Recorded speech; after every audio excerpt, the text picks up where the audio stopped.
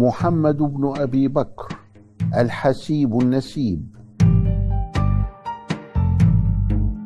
محمد ابن أبي بكر الصديق ابن أبي قحافة وثلاثتهم دخلوا الإسلام.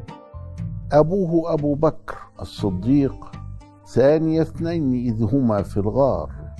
خليفة رسول الله صلى الله عليه وآله وسلم. وأمه أسماء بنت عميس.